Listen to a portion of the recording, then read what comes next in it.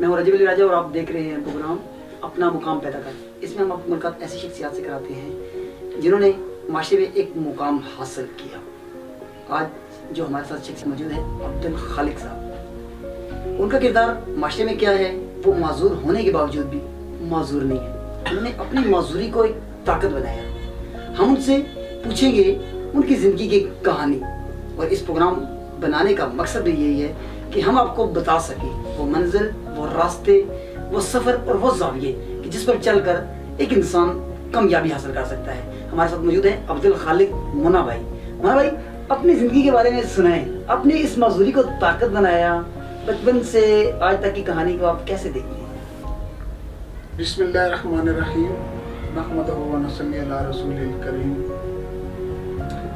जैसा कि आपने बताया कि ये अपना मुकाम पैदा कर, ये प्रोग्राम है। तो 1980 में मैं पैदा हुआ। जब मैं पैदा हुआ तो मेरे मोहल्ले के लोग मतलब उस गाँव के लोग मेरे घर आए, मुझे देखा, कहने लगे, मेरे वालदेन को कहने लगे कि ये आपके घर एक मजदूर बच्चा पैदा हुआ है। बहरहाल मेरे वालदेन ने मेरा साथ दिया, अच्छी परवरिश की और स्कूल में दाखिल करवा दिया उस वक्त, ये उन्नीस सौ छियासी सतासी की बात है, ये दमियाल कैब में कासम बेस बॉयज़ हाई स्कूल था जो इस इलाके का बेस्ट स्कूल था। उधर मुझे उन्होंने दाखिल दाखिला करवा दिया। फिर मैं वहाँ पढ़ता था खुद पैदल जाते थे हम यहाँ से। कोई साइकिल पे भाई लेके जाता था अगर साइकिल ना हो तो पैदल यहाँ से जाते थे बस्ता कंधों पे लगा के। तो पांचवी तक उधर पढ़ा फिर इधर आपके गाँव दमयाल आ गए। दमयाल में फिर छठी में इधर दाखिला लिया। उसके साथ फिर मतलब अपने आप को तो ना वालदेन मुझे कुछ कमी महसूस होने दी। और मेरे दोस्त यार थे उन्होंने भी कोई कमी महसूस नहीं होने दी तो मैं अपने आप को भी कोई कमी महसूस नहीं करता था खुद अपने मतलब होने के बावजूद भी हाँ, आपने महसूस नहीं किया नहीं बिल्कुल नहीं किया। तो क्लास में मेरे ख्याल में बच्चों लोगों का रवैया बड़ा अजीब सा होता है तो आपको ऐसा कुछ फील नहीं करना नहीं नहीं बहुत अच्छा था खासकर मेरे जो टीचर थे ना उन्होंने बड़ी मेरे ऊपर मेहनत की है खासकर मैं नाम उनका लेना चाहता हूँ चौधरी असलम साहब मेरे वो टीचर थे बड़ा छप्पर में रहते हैं और दमियाल में उन्होंने मेरे ऊपर बड़ी मेहनत की और मास्टर रहीम साहब थे।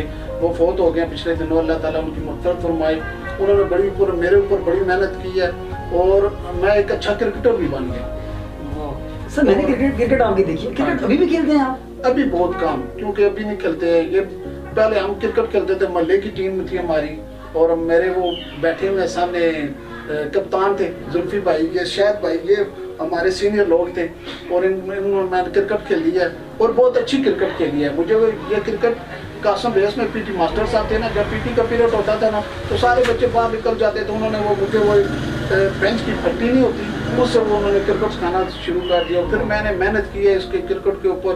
ये टीवी पे देख देख के जोन मियाँ दाल साहब को और अपना सलीम यूसुफ साहब को, जो कीपर होते थे, और अब्दुल कादर साहब को उनको देख देख के मैंने ये क्रिकेट खेलना शुरू किया और माशाल्लाह अल्हम्दुलिल्लाह बहुत अच्छी क्रिकेट की। मैट्रिक तक क्रिकेट खेलते रहे उसके बाद भी फिर हम बड़ी क्रिकेट बड़े दूर खेलने गए हैं। और अल्हम्दुलिल्लाह उसके साथ साथ ट्रेनिंग का काम किया टेलरिंग मास्टरिंग का। उसके बाद फिर मोटर वेल्डिंग का काम किया मैंने। क्या वो, भी सीखा हुआ है टेलरिंग का पूरा सीखा हुआ है। एविएशन बेस में हम आर्मी वालों की वर्दियाँ बनाते थे। तो उसके बाद फिर मुझे जॉब मिल गई सी ओ डी में। ये सी अपना। तो उधर साढ़े तीन साल उधर लगाए हैं। फिर उसके अलावा उधर से फिर आगे मैंने मेहनत की है थोड़ी सी तो मुझे एक अच्छी जॉब मिल। अब मैं वहाँ पे जॉब कर रहा हूँ। और छोटे भाई की साइकिलों की दुकान है, वहाँ पे साइकिलों का भी काम करता हूँ। आप देख सकते हैं कि एक जवान जिसके अंदर जज्बा हो, हिम्मत हो, कुछ करने की लगन हो, बेशक पाँव नहीं है। नो लेग्स नो लिमिट जब आपके पाँव नहीं है तो लिमिट नहीं है। हमारी सोच जब महदूद हो जाती है तो हमारे हाथ पाँव होते हुए भी हम कुछ नहीं कर सकते। तो अब्दुल खालिक भाई मुना भाई, हमारे सामने एक मिसाल है। इन्होंने साइकिलों के पेंचरों का भी काम किया साइकिलों का भी काम किया, मोटर बैंडिंग भी की, और उसके अलावा टेलिंग का काम भी कर रहे हैं और क्रिकेट तक खेलते हैं। देखिए, ये हमारे लिए मशद राह हैं। आप इन्हें देख सकते हैं। हम इनसे मजीद पूछते हैं कि इस सफ़र में आपको कहीं कभी मायूसी हुई हो? कि यार अल्लाह ने मुझे ऐसे क्यों पैदा किया? नहीं ही नहीं पैदा। इस तरह की ना कमी मुझे अपने घर वालों से की तरफ़ से हुई है, ना स्कूल के टीचरों की तरफ़ से हुई है, ना ही मेरे महल्ले के दोस्त यार हैं उनकी तरफ़ से हुई है। बल्कि मैं तो खतरे में कूद जाता था, जो काम करता था खतरा तो, तो अकेले रह जाता था लेकिन वो काम इन ताला फिर मेरे दोस्त सारे ये बैठे हुए हैं सारे मेरे साथ हो जाते थे कहते हैं यार वाह भाई क्या काम किया खतरे में कूदना पड़ता है इंसान को जज्बा रखना पड़ता है और इस मतलब इरादा पुख्ता होना चाहिए। इरादा पुख्ता करें तो सारा काम हो जाता है। हम देख रहे हैं हम देख रहे हैं कुछ सर्टिफिकेट इनके पड़े हुए हैं ना बहुत से सर्टिफिकेट और कुछ खेलों में इन्होंने लिए हैं कुछ ये मेरे ख्याल इनकी तंजीम है अंजमन है गुलामान मुस्तफ़ा। और उनकी तरफ़ से इनको काफ़ी सर्टिफिकेट मिले, हैं ना? देखिए, एक माजूर बंदा हो के भी अगर कुछ माशरे के लिए कर सकता है, अपना मुकाम पैदा कर सकता है तो मेरे मेरे ख्याल में नौजवान नस्ल जो है, हमारी उसको भी अपना मुकाम पैदा करने के लिए कुछ करना चाहिए। हम उनके अब्दुल खालिक भाई के कुछ दोस्त हैं, उनसे भी डिस्कस करेंगे। जी, हमारे साथ मौजूद है शहद साहब जी। शहद साहब, आप अपने दोस्त के बारे में क्या कहें? दोस्त के बारे में क्या कहेंगे दोस्त एक लाजवाब काम करने वाला इंसान है एक बाहिमत इंसान है जिसने आज दिन तक अपनी मजदूरी को मजदूरी नहीं समझा बल्कि बहुत से काम हमारे पेंडिंग हुआ करते हैं जो ये करता है। और हमारे साथ भी इसने बेपना साथ दिया है और हमने भी इसका साथ दिया है बल्कि फलाई कामों में भी यतीम बच्चे हो गए गरीब लोग हो गए उनके लिए भी कोशिशें यही करता है। समाजी कामों में भी समाजी कामों में बहुत बढ़ चढ़ के हिस्सा लेते हैं जी और हम सपोर्ट करते हैं बल्कि हम बकरा ईद के हवाले से मैं बात करता चलूँ। हमारे जहन में तो कोई ऐसी बातें नहीं होती, लेकिन ये हमें गाइडलाइन देता है कि ये यहाँ ये काम करना है। बल्कि लोग ईद मना रहे होते हैं तो हम खले इकट्ठी करके या कोई पैसे आपस में इकट्ठे करके, इसी की सरबराही में, खजानती भी यही है, सारे काम यही करता है। तो हम उन लोगों को जो हमारी बहनें, बेटियाँ या यतीम बच्चे मगरब के टाइम में जाके ये अपने हाथों से तकसीम भी करता है। तो हमारे साथ मौजूद है जुल्फकार साहब। उन्हीं के एक दोस्त है और कह रहे हैं कि मेरी टीम के कोच भी हैं। जुल्फकार साहब से उनका पॉइंट ऑफ़ व्यू देते हैं कि आपने अब्दुल खालिद भाई मुना भाई को कैसा पाया? अपना दोस्त या एक अपना भाई? अब्दुल खालिद के बारे में क्या कहूँ कि अल्लाह ताला ने से कोई स्पेशली जिसे कहते हैं गॉड गिफ्टेड गॉड वो सलाहियतें दी हैं इस भाई में हमारे में। मेरा दोस्त भी है कज़न भी है और बचपन से जानता हूँ, हमारा घर भी आमने सामने है तो मोहल्ले में भी एक ही रहते हैं। तो अल्लाह पाक ने इसके अंदर कुछ स्पेशली काफ़ी सारी जो ना, जो बहुत सारी खूबियाँ हम हम में नहीं हैं, इसमें अल्लाह ने रखी हैं। और उससे बड़े मैं मुतासर होता हूँ कभी कभी इससे। तो हम सीखते हैं, हालाँकि हम एज में इससे बड़े हैं, लेकिन इससे काफ़ी कुछ सीखा हमने। क्योंकि हम लोग तो और मुश्किल, मुख्तलिफ़ कामों में बिज़ी रहते हैं। लेकिन ये खेलों में भी, हमारे साथ साथ, बल्कि हमसे थोड़ा सा आगे समाजी कामों में भी, और कह लें कि अल्लाह ताला ने इसे बहुत, मैं जिसे कहता हूँ, हम सब इस अहल इलाके के लिए मिसाल है कि ये जो अंजमान गुलाम मुस्तफ़ा तंजीम है, उसको ये चला रहा है सबसे आगे आगे। क्या बहुत शुक्रिया, सर। अच्छा इनके भांजे हैं हसीब साहब, वो भी हमारे मीडिया से उनका ताल्लुक है तो उनसे कुछ, जी हसीब भाई, आपने अपने मामू कैसा पाया? सबसे पहले तो बहुत शुक्रिया, आपकी टीम हमारे पास आई है बहुत बहुत आपका मामू। और मैं अपने मामू के लिए यही बोलूँगा कि बहुत कोऑपरेटिव है, माशाल्लाह से, हर जगह पे सपोर्ट करते हैं। और सबने अपने अपने पॉइंट ऑफ़ व्यू दिए बेसिकली मैं फैमिली से बिलोंग करता हूँ इनकी तो फैमिली के लिहाज से भी यही बोलूँगा कि आपको पता है, हर फैमिली में छोटी छोटी लड़ाइयाँ वगैरह होती रहती हैं।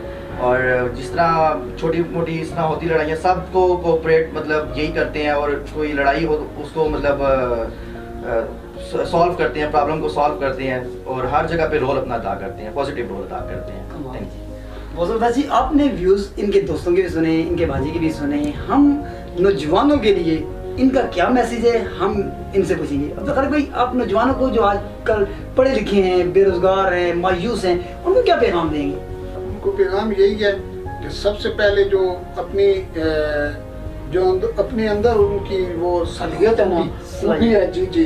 उसको उसको बाहर लाएँ और मतलब है मायूस नहीं हो मायूसी को कुफर मायूस नहीं होना। अगर मेरे जैसा बंदा मेरे जैसा आदमी एक मतलब अल्लाह ताला ने उसे एक अच्छा रिज़ल्ट दिया हुआ है। वल्ला खैर राजिकिन अल्लाह बेहतर रिज़ल्ट देने वाला है।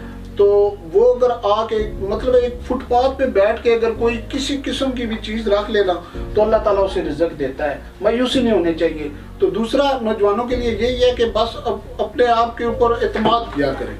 इतमाद करें। और एक मेरी रिक्वेस्ट है गवर्नमेंट ऑफ़ पाकिस्तान से, कि जो इन्होंने कोटा रखा हुआ है ना, दो परसेंट या पाँच परसेंट डिसेबल का, उस कोटे को बढ़ाया जाए, ताकि हमारे चौकों में जहाँ पे वो मतलब गाड़ियाँ रुकती हैं तो मांगने वाले खड़े हो जाते हैं वो आदि बने। उनके भी अंदर असलियत है लेकिन गवर्नमेंट का ये काम बनता है कि उस कोटे को बढ़ाया जाए। एक और चीज़ है गवर्नमेंट से कि अगर एक आदमी मजदूर है उसकी एक फिंगर नहीं है ये वाली कटी हुई। वो मजदूरी सर्टिफिकेट बनवा के मजदूर मजदूरी मतलब उस कोटे पे भर्ती हो जाता है। तो ये इस तरह मजदूर आदमी का हक मारा नहीं जाता? बड़ी है बहुत राय साहब तो ये इस तरह के भी देखने चाहिए गवर्नमेंट को या डॉक्टर साहब को जो मजदूरी सर्टिफिकेट बना के दें वो किसी के अंगल नहीं है मिसाल के किसी का अंगूठा नहीं है या वो तो ये ठीक ही है। मजदूरी में नहीं होता। मजदूरी में नहीं आना चाहिए मजदूरी होती। वो मजदूर लोगों का हक मार रहे हैं। ये गवर्नमेंट को भी देखना चाहिए कि मतलब जिस तरह सही डिसेबल लोग जो होते हैं ना उनको देना चाहिए। अब मैं देखे अपने दफ्तर में काम कर रहा हूँ। अल्हम्दुलिल्लाह बाकी लोगों से बेहतर काम कर रहा हूँ। बाकी लोगों से बहुत बेहतर काम कर रहा हूँ। तो ये जो चीज़ है ना गवर्नमेंट से मेरी गुजारिश है कि इसको दस परसेंट कर दे कोटे को।